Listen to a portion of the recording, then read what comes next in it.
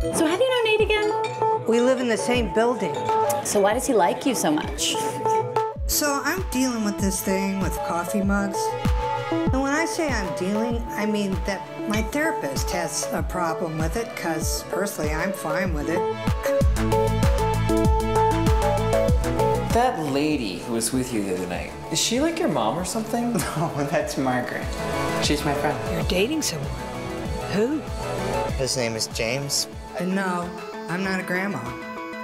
But I do wear granny panties. You suck.